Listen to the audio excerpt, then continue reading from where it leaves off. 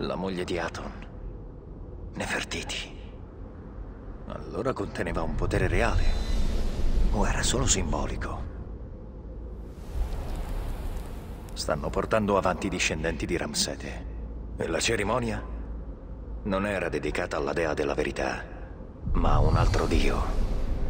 Le due piume di Amon.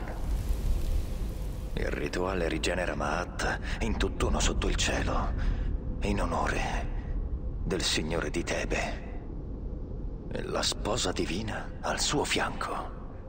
I sacerdoti hanno la reliquia. Mi ha ingannato sin dal principio!